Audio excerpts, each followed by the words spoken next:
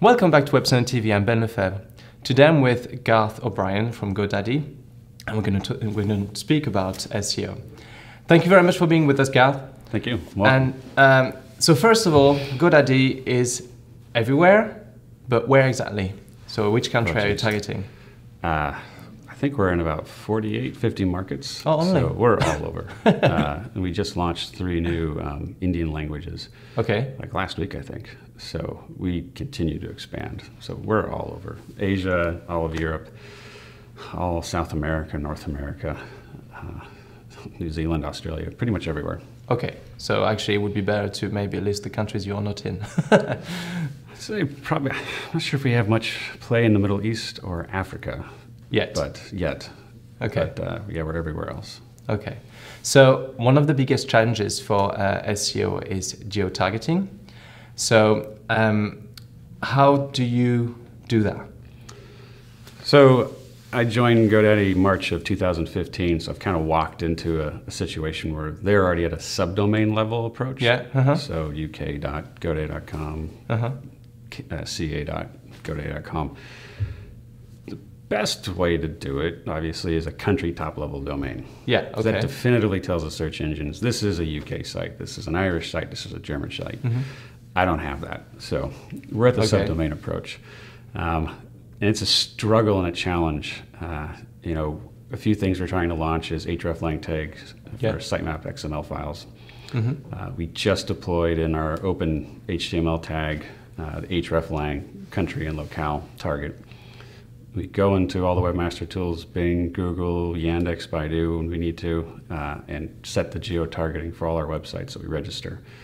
Um, the one thing that happened recently was there was someone had requested that they remove the two-digit ISO code at the end of our title tag branding. So our branding is the end of the title tag is space dash space GoDaddy and then UK for mm-hmm. obviously United Kingdom, DE yeah. for Germany.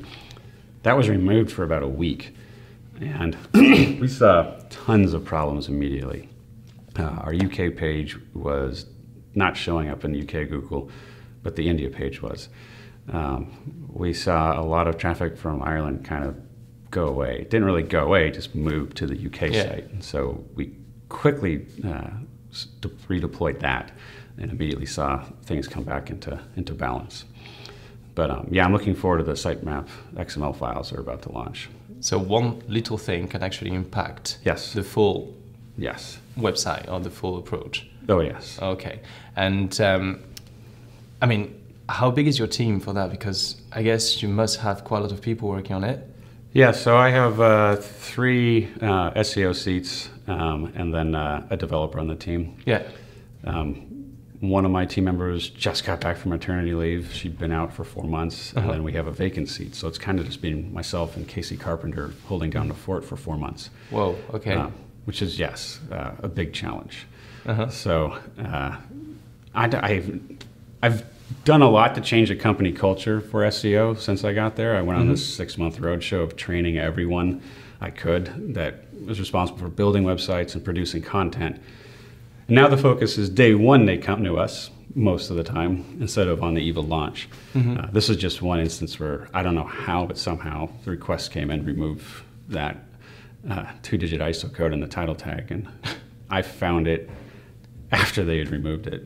Okay. So, but yeah, the team, the teams, the development teams, and our content management system teams, I, it, it, was just a, a, mistake. I mean, they all usually raise their hand and say, "Hey, has this been run by yeah. by the SEO team. Yeah. Um, somehow this one's just sneaked by. So I, I guess that's how you make sure that there is consistency in terms of SEO globally. Yes. You need to go through your team and everything first. Anything that is being done in the uh, kind of development team or anything like that needs to go through you first. Yes. Okay, just yes. to make sure that. And that's the key. Um, and I learned this the hard way for many years through the agency and doing in-house before I ended up at GoDaddy is if you don't do the training and the awareness and the evangelism, mm-hmm. you're just plugging holes in a ship that keeps filling up yeah. with holes. Mm-hmm. Excuse me. Um, so, doing this kind of roadshow training and exposing everyone responsible for publishing or building websites, that changes their mindset and they start actually seeing, oh, I've been doing it wrong. If I just do it a little bit different, mm-hmm. now I get more discoverability and visibility in the search engines. And I always hammer into them go mm-hmm. to the SEO team, bring us aboard, we'll react quickly, and we'll set you up right. Mm-hmm. And that's how you position it is we're going to help you and you're going to shine and you're going to get more visitors yeah. more revenue mm-hmm. and everyone's going to think you're awesome mm-hmm. uh, and then once they hear that now they become kind of a friend and they yeah. want to engage you. Yeah. Because everyone wants to be awesome at work. Of course. Yeah, yeah. No, it makes sense. Yep. And um, so that's the kind of technical part of it. What about content? How challenging is it? Very challenging. Not, it's not at all. I mean, like just like for five, like fifty countries or something like that, it must be very easy. That's the problem. Um, it's so expensive. Uh, yeah, we're, we're struggling with that right now. Because uh, you really can't go machine translation because yeah. Google doesn't mm-hmm. like that. Um, and we have, I think, 4,500 help articles. Okay. And before I got to GoDaddy, uh, our, the approach was support.godaddy.com. It was a US website, and we had mm-hmm. some translation feature. Yeah. It was not an international site. We didn't have international folder structure, so it was really just a US site. Mm-hmm. Uh, we've migrated all that content onto our country domains. So it's like .com, whack help. Um, all obviously all the English sites got all 4,500 articles. Mm-hmm.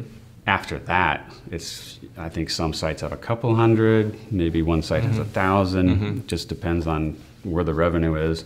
Because translating 4,500 pieces of content is very expensive, times mm-hmm. you know 35 or so.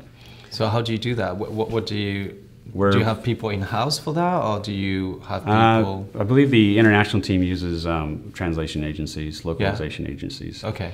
And so now we're, we're trying to dig deep and figure out okay, is there a way to expedite and reduce the cost of getting yeah. this content out there? Uh, Rob Ashby from he was from I think Office uh, Office support.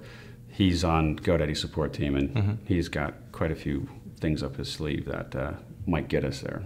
Okay. So we work closely with the support team and figure out how do we get this to happen because our customers need that support article. Mm-hmm. Uh, but at the same time, it's just so expensive. Yeah, it is. And then so you've got the, um, the, the articles for those countries and everything. Do they have to go through you again for the SEO perspective, or no? We do you train the other team to make sure that they have SEO friendly content, or yeah, we've so the help articles are easy. Yeah, it's a template. Yeah. We make sure the template's optimized, mm-hmm. uh, and we train them and say, you know, look, the keyword is the f- target focus of the, the article. Mm-hmm you know, mm-hmm. how to recover my password. Mm-hmm. Oh, that's the keyword. Yeah.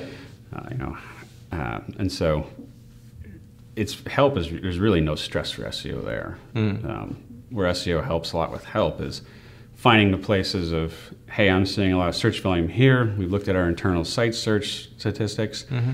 We see that same question pop up, and we don't see an article. Mm-hmm. So you guys need to obviously publish this article. Yeah, it makes sense. Uh, but yeah, once you've kind of optimized the template and you've trained the, the staff, help is not usually a big problem for SEO. Okay. From experience, do you have any tips to give to like a company who is struggling with dealing with like 50 countries or something like that? Do you have any tips top of your mind? If you can, start off with a country top level domain. Yeah, that would uh, be the first first one. So that's your main struggle main, on your side, yeah. Because yeah. that I mean, like I said, there's there's no question the yeah. geo-targeting is solved immediately.